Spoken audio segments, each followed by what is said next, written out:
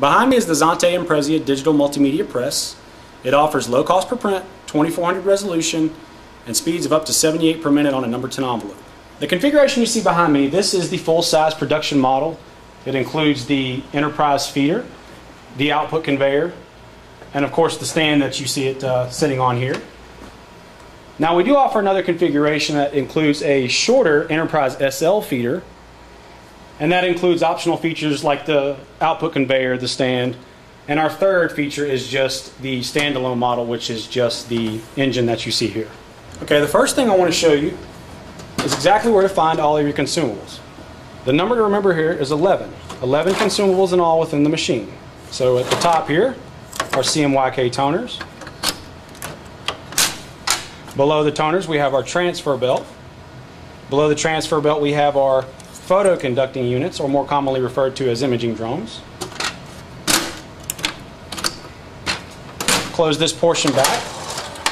Below, tray one, pretty much exclusive to your letter size A4 size media. And beside tray one, we have our waste toner bottle. And then of course below tray one we have tray two. Now this tray, more of your universal tray, can handle up to 11 by 17 inch media as well as other standard, standard and custom sizes. Now this brings us to our paper path. This is where we'll clear any jams. This is also how we access our last consumable to show is the fuser. So it slides in and out like so. Close it back.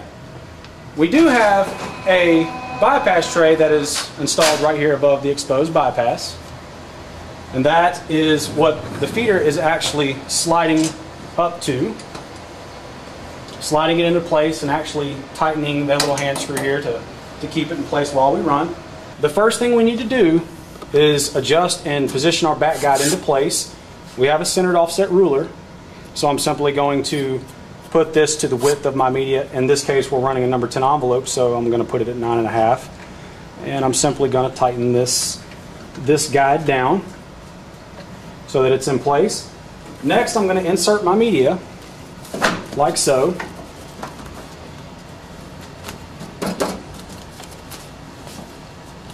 Keeping it knocked against the back guide here. I'm going to leave the guide closest to me on the operator side. I'm going to leave it pretty loose for now. And if you'll notice, my, my flap is up and actually facing the machine right now. That's how we want to load in order to print on the front side of the envelope. So once I get them in place, beside the on-off switch here, I am just going to hold down the, the media advance button. And the envelopes are going to cascade and and you're going to get this tiling effect. That's exactly what we want in order to load the media.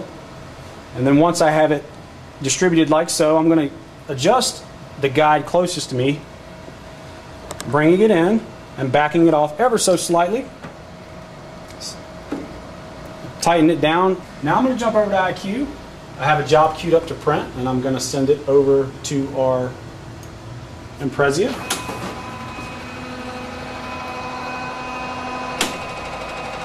And the output that you're going to see here is going to be that, that, that optimum output of 78 per minute on a number 10 envelope.